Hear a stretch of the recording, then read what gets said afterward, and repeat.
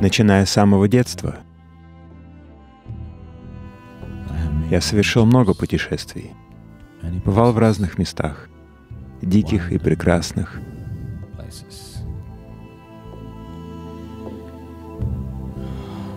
Но должен сказать, что я пока еще не видел ничего подобного Кайлашу с точки зрения его возможностей и безграничности.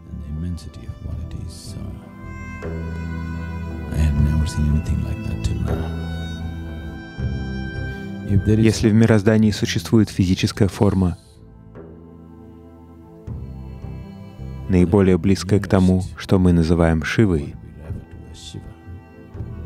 это Кайлаш.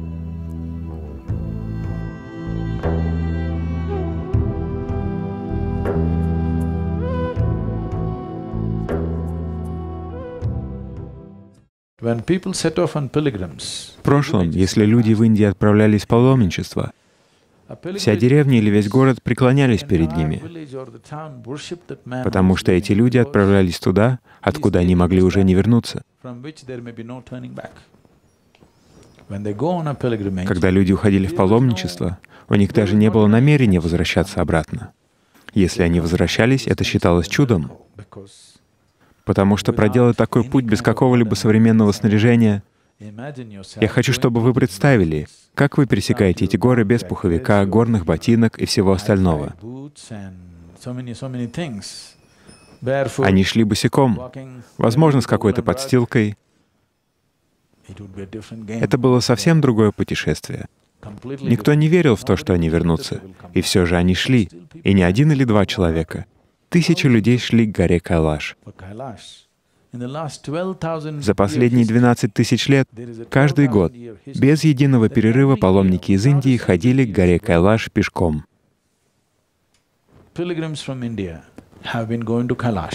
12 тысяч лет. Не было перерыва даже в те годы, когда погодные условия были очень суровыми. Поток паломников продолжался.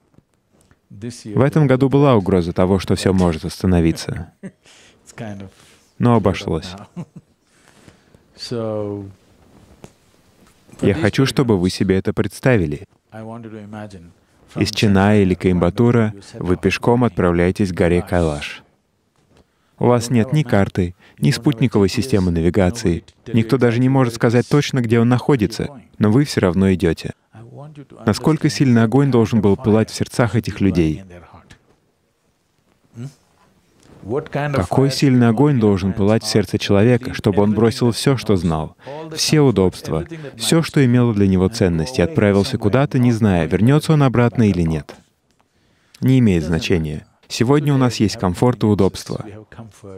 Но за этим мы не должны упускать значимость всего процесса. Я хочу, чтобы вы шли так же, как люди шли тысячу лет назад. С каким огнем они, должно быть, шли, рискуя жизнью, поставив на кон все, что для них в жизни было ценно, не зная, что с ними случится, они просто шли. Когда они шли сюда, на север, с южной оконечности Индии, распевая Шива, они не следовали какой-то религии. Для них религии не существовало. Это были люди без религии. Для них не существовало разделения. Мое верование против твоего верования. Они просто рассматривали звук как поддержку на своем пути.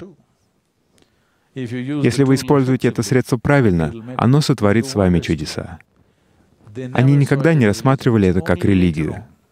Лишь позже, когда появилась конкуренция, все стало рассматриваться с позиции «твое против моего».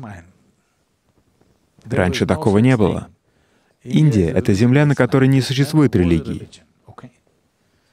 Духовный процесс — это не то, как вы выглядите снаружи для кого-то, это то, как вы чувствуете себя внутри, потому что это и есть качество вашей жизни.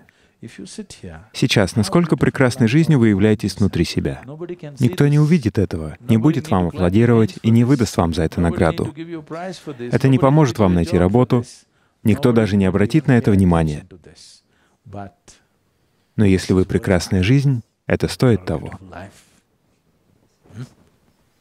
Это действительно того стоит, если вы здесь, и жизнь внутри вас прекрасна. Это самое главное. Как вы сможете познать жизнь, если этого не случится? Все, что с вами происходит, это просто бесконечная психологическая драма, состоящая из ваших мыслей и эмоций. Чтобы познать то, о чем я говорю, вы должны идти с тем же настроем и огнем, что и паломники древних времен. Тогда вы познаете нечто, что является основой жизни, а не просто ее красками. Завтра утром, когда вы начнете путь к Кайлашу от места вашей стоянки, вы в буквальном смысле будете идти по телу Шивы. Во многих смыслах Он расстелил себя, чтобы вы прошли по Нему.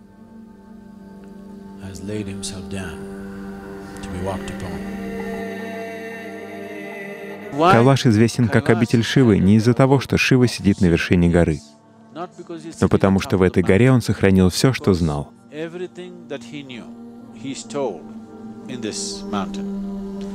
То, что представляет собой эта гора и на что она способна, настолько безгранично, что я не думаю, что вы сможете этим воспользоваться. Для этого необходимы невероятные знания и способности.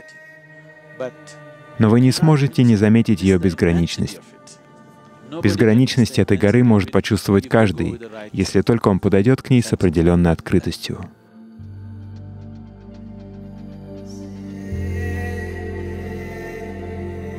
Вам не нужно ни во что верить. Это только помешает. Вера приведет к воображению. Быть открытым означает обладать беспристрастным умом. Беспристрастный ум означает, что с настоящего момента вам не нужно себя ни с чем ассоциировать. Вам нужно просто идти.